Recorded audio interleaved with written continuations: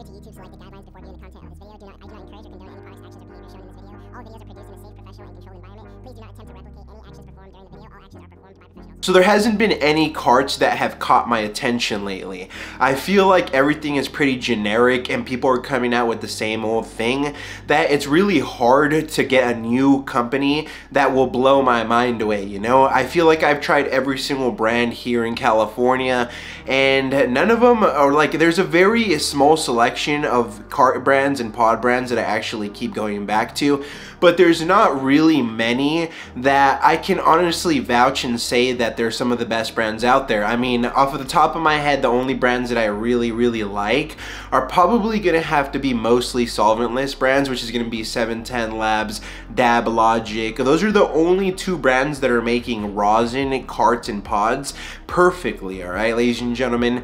Now, other brands out there trying to make disposables, cards, and pods that are just lackluster, and like I said, that's why I really haven't been reviewing too many new carts, but today I found something that hopefully, hopefully will change my mind on that, and hopefully will make for a great review, all right, ladies and gentlemen, because, I mean, I don't know, when I saw it right there sitting on the shelf, I was like, you know what, eh, this might be a banger, the packaging looks pretty nice, and I'm not only basing it on the packaging like some other people might, and some people, I know there's a lot of people who hate on that, but what I heard, what I just was trying to get some information from the bud tender, right? And then they were pretty much saying that this is just 100% classic organic rosin inside of a cart. And I was like, all right, that sounds pretty flame. So let me go ahead and get one of those.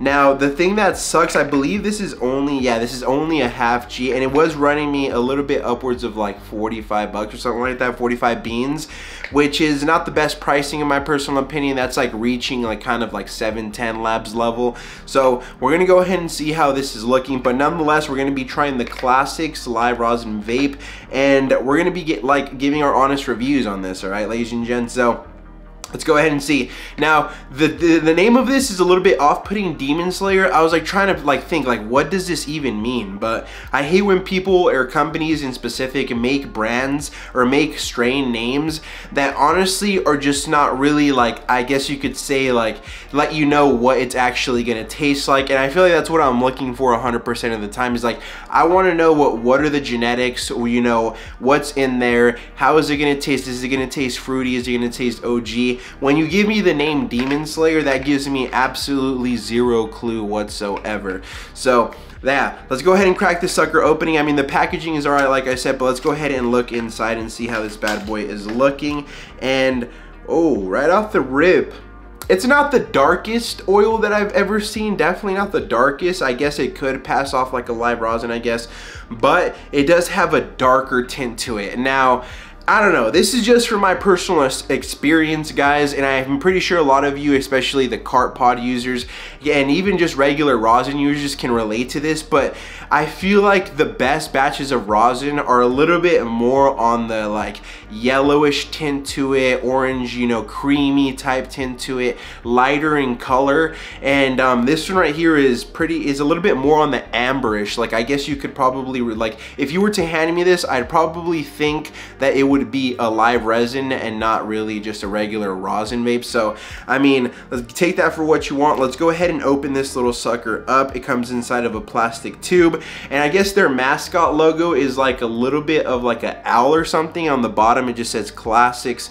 And, um, a little bit something different. Now this one right here has like a round tip to it, kind of like how carts, like the fake carts used to be back in the day, or even the Moonwalker cart, I mean not Moonwalker, Moon Rock carts that had that little roundish tip. This has a black roundish tip, and honestly, in my personal opinion, it looks like a decent cart. I mean the, the overall aesthetics at least, right?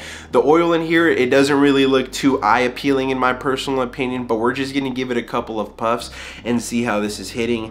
Now, the battery that we are going to be using for today, just a regular old stick battery with variable wattage is all I really need. And um, let's go ahead and get straight into it, alright? Sorry for the ranting, but I had to go ahead and just like give, give a little bit of a rant, man. Because I like take so many days trying to find new products and I feel like when it comes down to carts, pods, and even disposables, I feel like I've tried damn near all of them. I think it's going to be time that I start going out into the wild, alright? Start going out to like Michigan, Colorado, Colorado, Vegas even. I mean, I, I don't think I would want to go to Vegas. I think I would definitely want to go to like Michigan or Colorado because I've heard that those spots have better carts and better flower and stuff like that. But I guess we're going to have to do that soon. Maybe we'll take a little bit of a trip down to uh, Colorado for Christmas. I We do have some family down there, so it might make for a little bit of a sick trip. So if you guys want to see me go for like maybe even in November and December, just do a couple of trips to like Vegas, do a trip to Colorado and even Michigan or Oregon and see what other product there is down there, right? If you guys wanna see that, make sure that you guys are subscribing to the channel, leave a fat like, and then your boy Seby G will do a little bit of traveling, all right? I guess we're gonna go ahead and use this at a low, a one, I'll go ahead and start at 1.8 and I'll turn it up as we go, all right? Oh yeah, that was a little bit too low.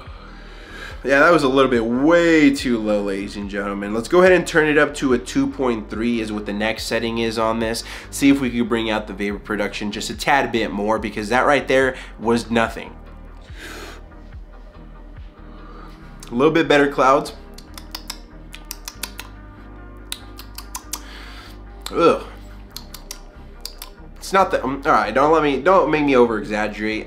I just feel like when it comes down to it, I have such a, I'm not gonna say I have the most refined palate in the world, but I can definitely tell what's good from what's bad. And I honestly, so far off that first initial rip, it kind of like gave me a little bit of a weird aftertaste, weird film in my mouth, and a little bit of a weird like, it kind of like went down to my stomach like you know a little bit of a like a boom like a spike in your stomach a little bit of a tummy ache type vibe. But let me just go ahead and take a sip of water cleanse the palate and let's go in for a little bit uh, we'll take two more rips and get a little bit more of that flavor.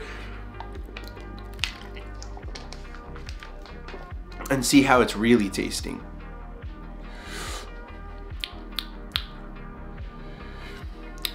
I don't know.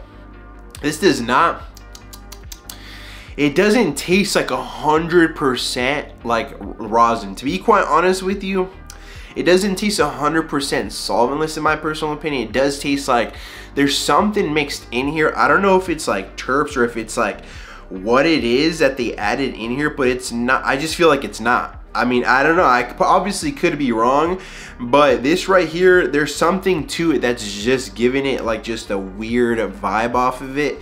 And every single time that I hit it, I get a nasty weird taste off of it.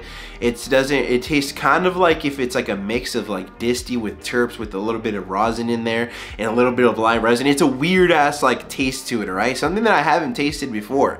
Now, in my personal opinion, it is making me feel a little bit like, uh, giving me a little bit of like a nauseous feeling and something like a feeling like you get when you usually don't eat, but it doesn't make sense because I literally just ate like about an hour and a half ago. But this right here is like, it, it gives me that nauseous feeling. It's weird, all right? Like if I have an empty stomach and it's just like growling and it's just weird, definitely, definitely weird. It's not giving me the munchies, it's just making me feel nauseous, right? Like if I wanna throw up, it, like almost, right? Let's go in on a couple more rips and um, I don't know, this might be the first time ever that I've gotten like sick from a car or at least like a little bit of like nausea or stuff like that. Or actually not even the first time. This only really happens with like fake carts or nasty carts that are just made with the worst kind of oil.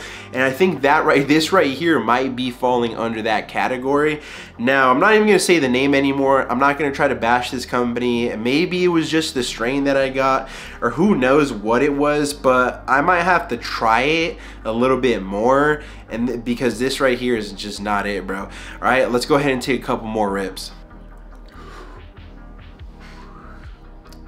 Ooh. I tried to take a little bit of a fatter hit to see if it would bring out the flavor more. Oh no. That right there is definitely not, there's something wrong with this cart, bro.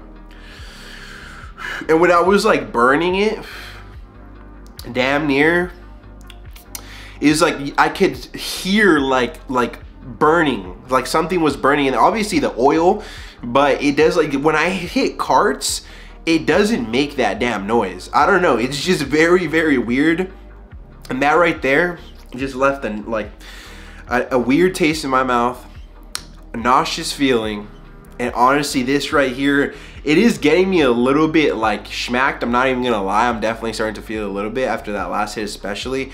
But in terms of like actual like good feelings, it's not very too many. It's more nausea, more of like a sickness. My stomach is starting to rumble a little bit. Starting to feel a little bit like nauseating.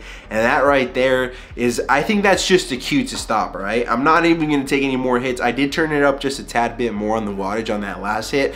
Probably why it was a little bit more milky, but still though, that right there is not something that I would give to my worst enemy it's just not. It's just not worth it. Off of that first initial rip it automatically made my stomach start to get feel nauseated.